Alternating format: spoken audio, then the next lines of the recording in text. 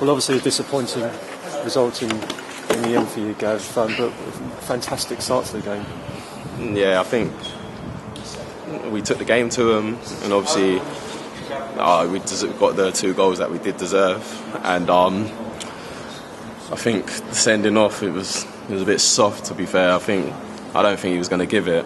Players were chirping in his ear, and then um, the ref just ref just gave it. So ref didn't help us out one bit today, but he obviously easily probably didn't make it. He probably made it a, quite an easy decision, but don't think he was going to give it.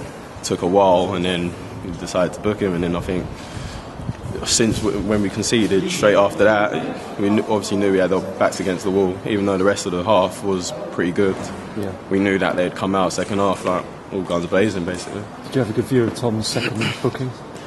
Yeah, like obviously he's um, got tight to him on the touchline, and the boys rolled him, and then um, probably just pulled his shirt a little bit, and he's gone down quite easy, but as you would. But like I said, I don't think the ref was going to give it, and he's gave it, and he's just killed it for us. So. How, how, how, does Tom feel about it?